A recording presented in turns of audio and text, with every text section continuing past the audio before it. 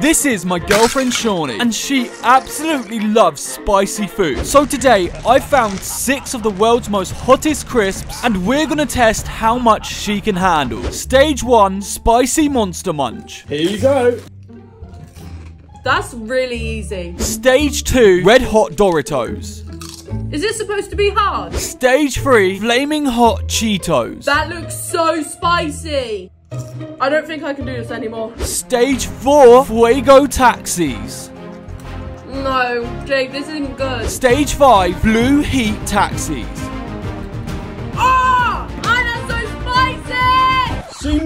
Spicy! She needs some milk. And finally, we have the one chip challenge. Bro, there is no way I'm eating that. Come on, Shawnee. No freaking way. Okay, Shawnee, will you do it if this video gets a million likes? Only if this video gets 1 million likes. Guys, like the video and subscribe for part two.